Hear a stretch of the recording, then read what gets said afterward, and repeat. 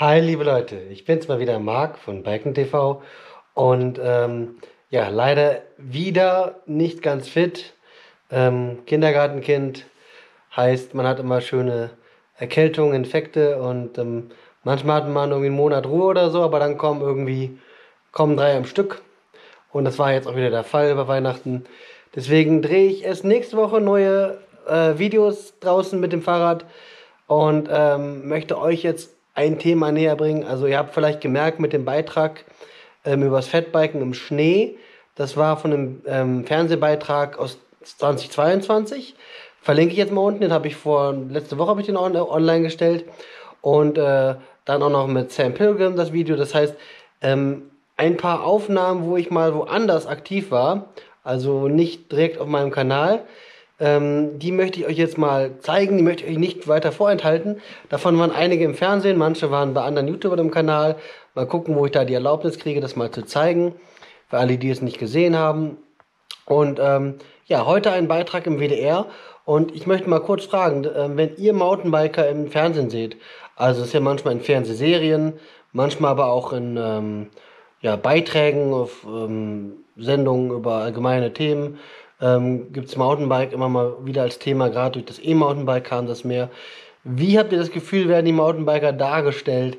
Ähm, wie ist das Image?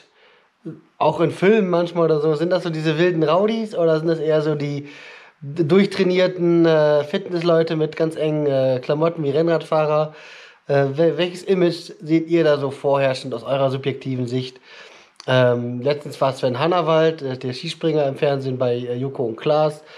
Ähm, das war ein bisschen wahnwitzig, weil er direkt so ein mega schweres Rennen fahren musste äh, in den französischen Alpen. Und äh, ja, es gibt immer so legendäre Sachen wie zum Beispiel Stefan Raab, der sich vor zehn Jahren oder so bei Schlag den Raab ähm, das Jochbein gebrochen hat und zweimal übelst gestürzt ist bei der Mountainbike Challenge oder bei dem Mountainbike Spiel ähm, und hatte eine Gehirnerschütterung. Also das war echt heftig. Und ähm, ja, genau. Der Beitrag jetzt geht über Fahrsicherheit für E-Mountainbiker und ob E-Biken äh, auch für junge Leute ein Thema ist. Ist nicht ganz neu, der Beitrag, seht ihr, ist ein paar Jahre alt, aber ihr werdet sehen, cool, ähm, ja, dass ich den machen durfte und ich freue mich, dass ihr den auch mal in dem Kanal hier sehen könnt. Liebe Grüße und ich freue mich auf die nächsten draußen Outdoor-Videos. Ciao! Steile Hügel, rasante Abfahrten. Marc Brodesser aus Bonn fährt vor allem bei steilen Waldtouren auf die elektrische Unterstützung ab. Zurück in Bonn. Freundin Lisa ist nur so schnell, weil sie ein E-Mountainbike benutzt. Der Trend für junge Leute. Das E-Bike als Sportgerät. Das Coole beim Mountainbiken mit dem E-Motor ist einfach, dass die Hemmschwelle, das einfach mal zu probieren, viel geringer ist weil auch weniger Trainierte den Berg hochkommen oder auch mal steile Berge hochkommen. Also am Anfang hatte ich schon ähm, viel Respekt, aber wenn man dann merkt, es funktioniert mit dem E-Bike, also mit einem normalen Mountainbike würde ich dann nicht hochfahren, aber so funktioniert es dann und dann ist man doch auch stolz und es macht Spaß. Genau das vermittelt Mountainbiker Mark auch in seinem Sicherheitstraining. Balance, Körpergefühl und das richtige Bremsen. Denn die über 20 Kilo schweren E-Bikes lassen sich nicht per Rücktritt bremsen. Der Fahrer muss lernen, die Handbremse schleifend einzusetzen.